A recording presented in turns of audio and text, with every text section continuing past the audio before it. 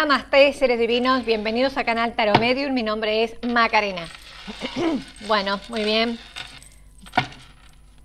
Va campana, seres divinos. No va a haber prólogo hoy, no voy a decir nada. Hoy vamos directamente a la lectura.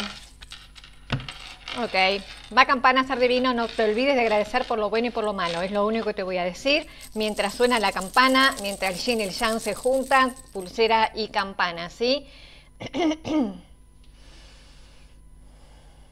Va, va campana, ser divina.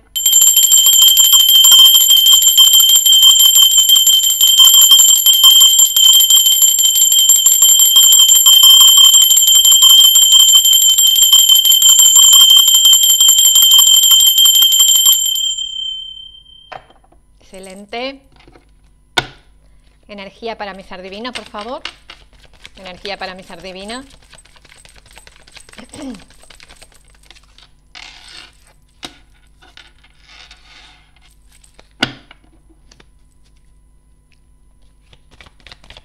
La carta de la del silencio.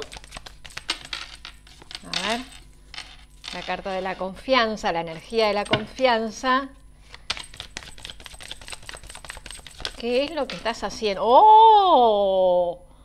El rayo en el presente. Ya iba a decir, ¿qué es lo que estás tratando de, hacer? Que es como que estás agarrando valor, tomando valor para, para hacer algo. Como... A ver, ¿qué es lo que estás? Ah,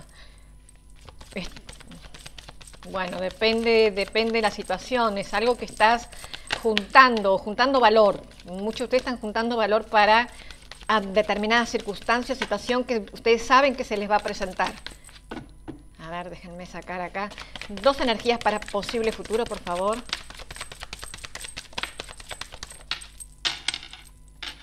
Ay, la emperatriz luego de la torre, ser divino, me encantó. Porque la torre a mí no le tengo miedo porque los cambios me encantan y porque los cambios son necesarios, aunque sean súbitos e imprevistos, ¿sí? Pero em, la emperatriz aquí me deja saber que todo es para bien, al contrario, es como para, para que te renueves, ¿sí? Para que te salga tu mejor versión esa torre. Ya vamos a investigar esa torre, ¿sí? Última energía, por favor. Oh, por Dios, dos de copas te dije, ¿no? Que venía como una mejor versión para ti, una autoestima impresionante, la lucha y la carta del 5 del vacío, pero no es el vacío como tal, sino es el vacío eh, eh, para como, como para, para, escribir una nueva historia, así como momento para escribir una nueva historia, un nuevo proceso, un nuevo ritmo de, de vida, ¿sí? Porque estás como con ganas de arriesgarte, de arriesgarte de luchar por algo, para algunos tiene que ver con el amor, sí, porque tengo a la emperatriz el dos de copas acá. Ya vamos a investigar estas dos cartas. Es como un amor muy bonito que se te va a presentar. Si estás soltero o soltera, aquí prepárate. Es un amor que viene. A ver, vamos, vamos a investigar con el tarot. Háblame de la torre, ya. Vamos directamente a la torre, que es ese cambio súbito es como un derrumbe total. ¡Oh, qué bueno! Se terminan los, los, dolores, se terminan los sufrimientos, se terminan las tradiciones. Aquí se termina. Esto es lo que viene a ser la torre. La torre, yo siempre digo que la torre viene a romper aquello que ya no sirve, que ya es este, obsoleto. Y el 10 de espadas me lo clarifica. Sí, me lo clarifica porque el 10 de espadas es ya el fin de, una, de, un, de un dolor se terminó. Fin.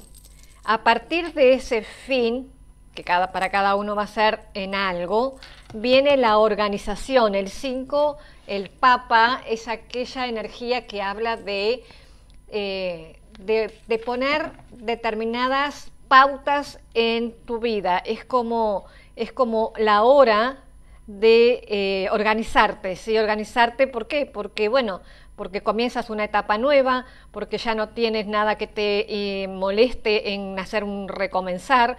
Con la emperatriz aquí tú vas a, ocuparte de ti, de tu amor propio, de tu valía, de tu valor, de tu victoria. Es tiempo de avanzar y focalizar tu energía en pos de una meta clara. La meta clara es el 5, ¿sí? Es necesario que tengas clara la meta hacia dónde te vas a direccionar, dónde te vas a enfocar tu energía, porque si enfocas en muchas áreas, al final no terminas haciendo nada, porque aquí tú vienes con, ganas de hacer algo muy, de forma muy valiente, ¿sí? O te pasó algo de forma muy valiente. Tres de bastos. Bien. Uf, qué fuerte ese 10 de espada, ¿no? Qué, qué ilustración, es como... Bueno, va. Quiero saber la emperatriz. Vamos a hablar de amor ahora. Emperatriz. Clarifícame la emperatriz.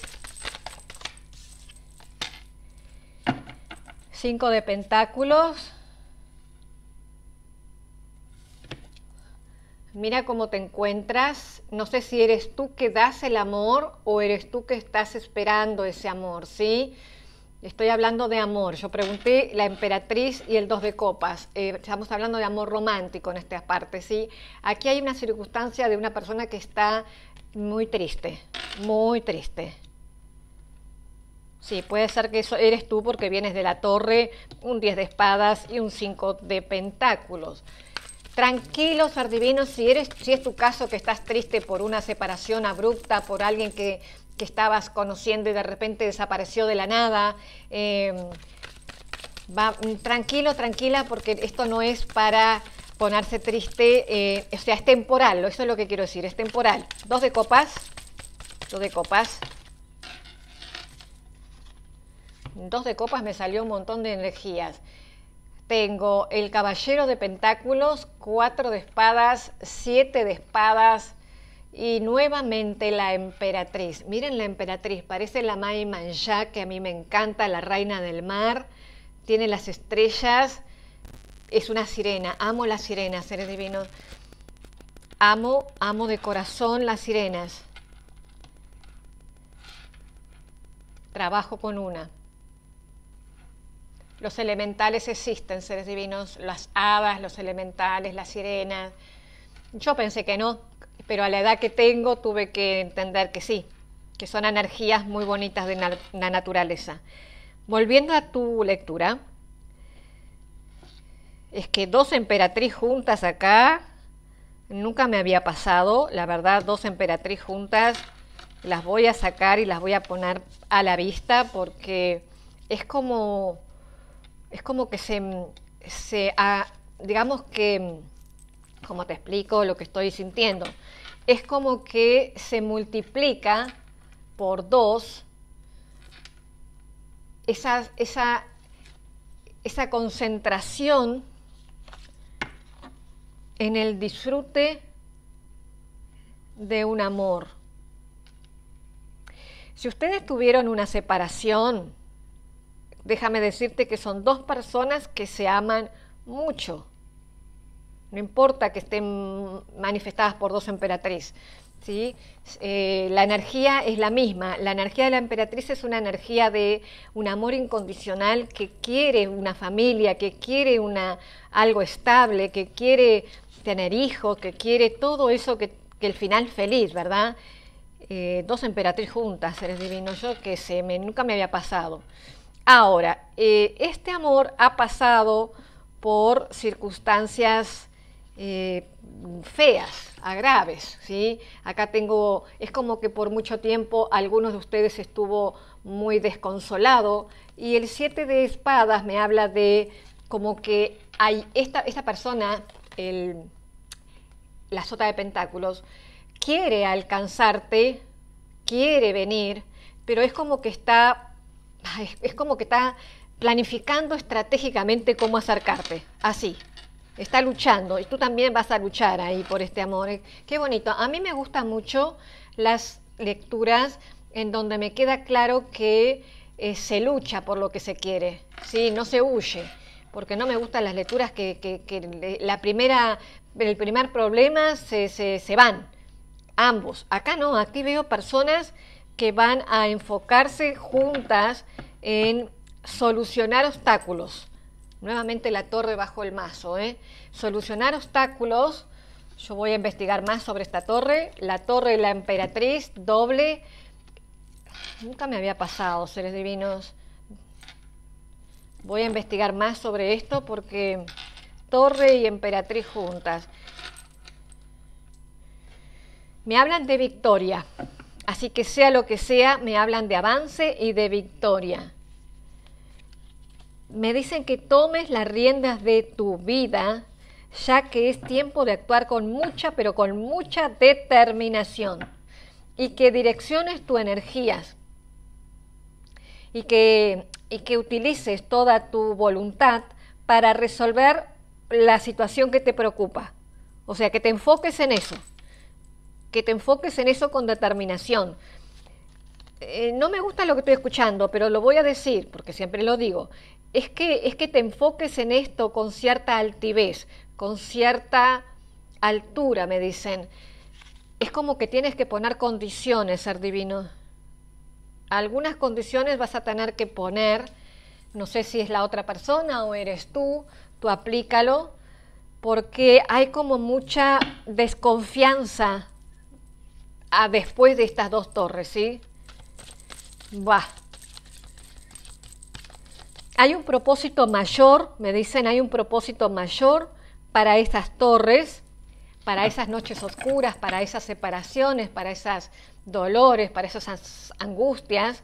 Hay un propósito más grande que tú a largo plazo lo vas a entender.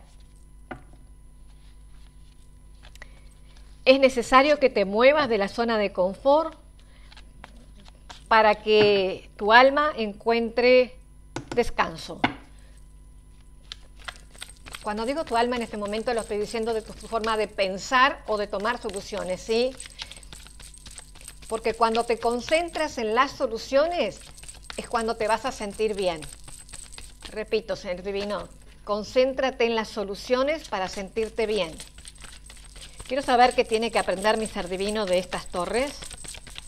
¿Qué tiene que aprender? ¿Qué tiene que aprender?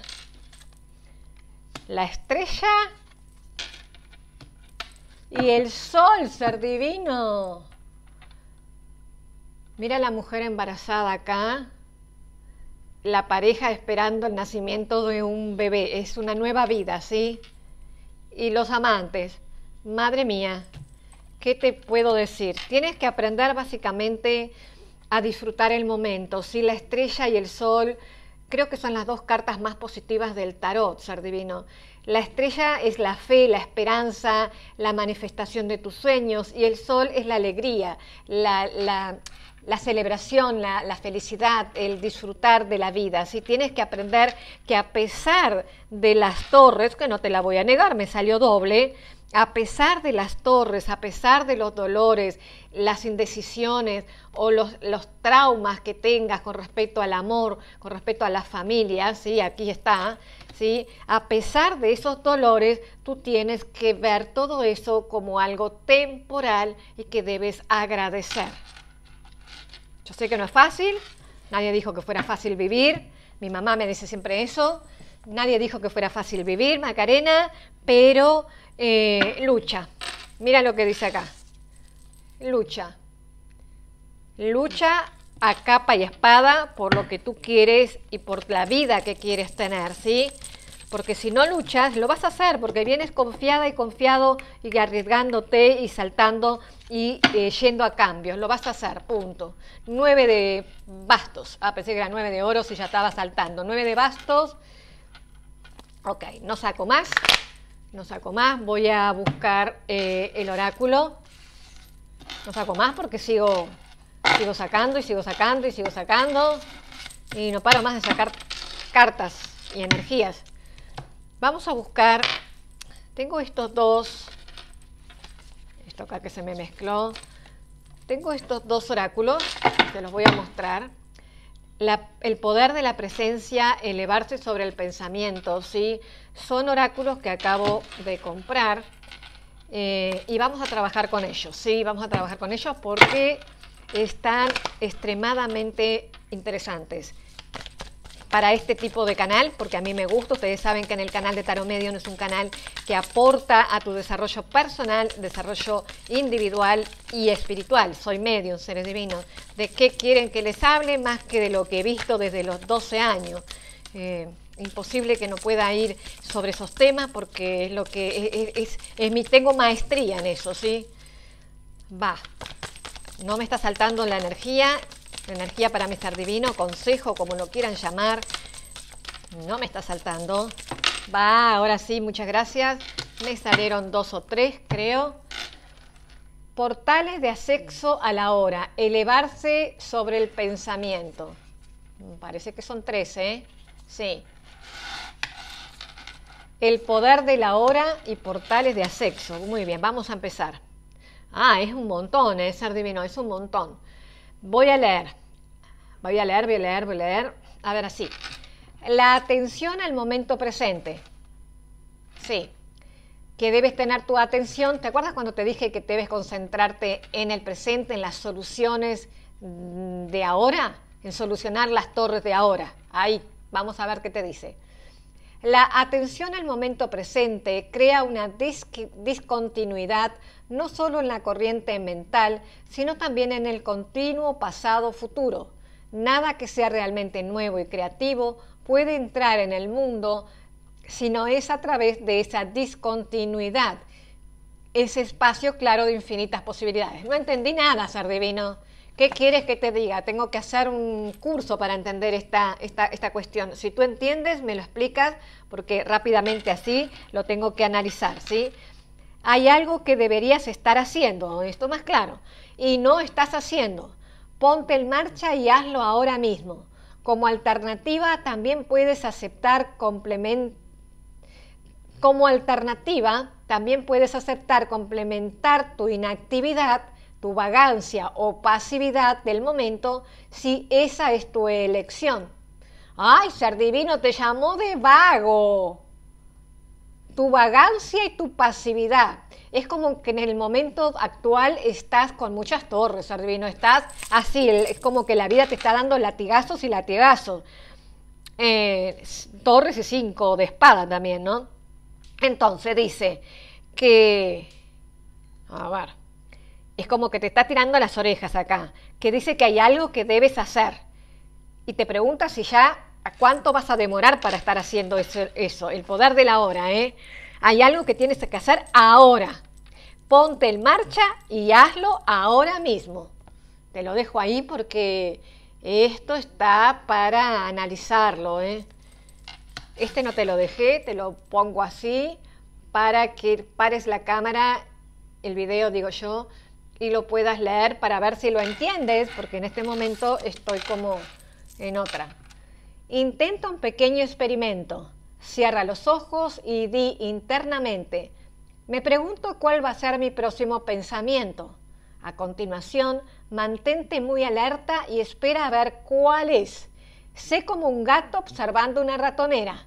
¿Qué pensamiento va a salir de la ratonera? Inténtalo ahora mismo portales del sexo a la hora. Sí, esto es lo que te dije yo, que te ocupes de, de concentrarte en soluciones en este instante. Entonces es como que te dice, cierra eh, los ojos, concéntrate y espera a ver cuál es el primer pensamiento que te llega a la mente. Cuando te llegue ese pensamiento, tú ¡oh! y lo anotas porque es el pensamiento que te está golpeando la mente una y otra vez. Cuando uno lo descubre, ya no lo resiste y ya deja de complicarte la vida funciona de esa manera. Quiero saber ahora del otro oráculo, lo vamos a utilizar. Son largos, Ardevino, voy a sacar solo uno. Solo uno, por favor. Uno, uno solo. Uno solo. Este, el camino para salir del dolor. Porque con tus torres, el camino para salir del dolor.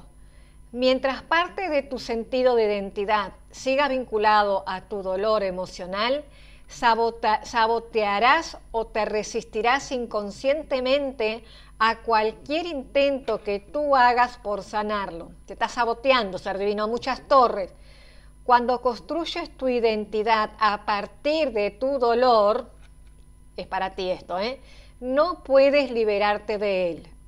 Ver súbitamente que estás o has estado apagado a tu dolor, apegado a tu dolor, puede ser una comprensión muy chocante, pero tan pronto te des cuenta de eso, habrás roto el apego.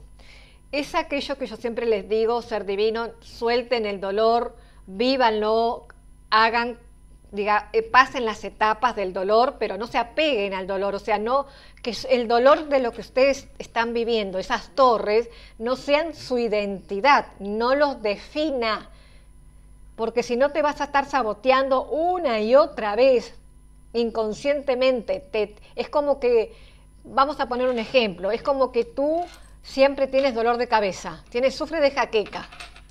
Entonces, siempre que llega una persona, llega, me duele la cabeza. Entras al trabajo, me duele la cabeza. Vas al jardín, me duele la cabeza. Vas a la playa con una amiga, lo primero que dices es me duele la cabeza. Entonces, ¿qué sucede? Ese, ese apego a ese dolor te identifica. Entonces te está diciendo que no te vincules a un dolor, tú sabrás cuál dolor es, puede ser un dolor romántico, un dolor laboral, un dolor, el dolor que tú más, por eso te dice, busca ese pensamiento tan repetitivo, como un ratón, eh, espera ver cuál es ese pensamiento que tú repites una y otra vez, porque si no, todo eso que tú repites una y otra vez es lo que el universo te va a volver a traer por la ley de la atracción. Ahí entramos con el oráculo de la ley de atracción para cerrar esta enseñanza, porque es una enseñanza que a mí me sirve, a ustedes les sirve y va a servir siempre. Porque a veces lo tenemos, una, una energía, por favor, un consejo para finalizar, lo tenemos ahí, mm, la respuesta está tan simple y no nos damos cuenta. Yo soy una persona que estaba siempre hablando sobre un dolor que me parecía, tonto, pero lo repetía diez veces al día, hasta que lo entendí y lo solté. La ley de atracción te dice, puedo concentrarme específicamente en lo que deseo. Es un príncipe, es un príncipe, digo príncipe porque es jovencito. El estímulo del pensamiento te acosa permanentemente a menos que diriges, dirijas específicamente tu atención hacia lo que quieres. Pero te estoy diciendo, desde el principio te estoy diciendo, concéntrate en las soluciones que te hacen bien y no en los días de espada y no en las torres. Dice que el estímulo del pensamiento te acosa permanentemente, a menos que dirijas específicamente tu atención hacia lo que quieres. Entonces ahí sí serás influido por tu entorno. A menos que te concentres en lo que es importante para ti, te estimularán los pensamientos de los demás y esto no puede ser importante para ti. Sin palabras, sin palabras, ser divino, porque yo sé que puse mucha lectura hoy, pero es que no sabía que los oráculos estos estaban tan llenos de lectura, ser pero es básicamente lo que me estuvieron diciendo en toda tu lectura, me hablaron de el avanzar en la victoria, en focalizar tu energía en pos de una meta clara, o sea, por favor, ser divino, sea lo que sea que estés pasando por las torres, quiero pedirte, te quiero suplicar, te queremos pedir con Clara del Oriente y Miguel del Oriente y mis guardianes, te queremos pedir que ese estímulo, ese pensamiento que te está acosando permanentemente, lo, no te lo resistas. O sea, lo observes, lo anotes, lo escribas, le, des las gracias, porque siempre les digo, denle las gracias a eh, toda circunstancia de vida, porque viene a traerte un aprendizaje, lo bueno y lo malo, como siempre les enseño, te trae un aprendizaje, ¿sí? Y eh, concéntrate en lo que deseas realmente, no en el dolor, en lo que realmente quieres para tu vida, porque de esa manera el universo te va a reconstruir, te va a recompensar, porque lo que tú piensas es lo que tú deseas, es lo que tú reaccionas y es lo que tú vibras. Si tú vibras, en un pensamiento de torre y de dolor, el universo te va a atraer nuevamente circunstancias de dolor. Esa es la ley de atracción. Ahora sí, namaste.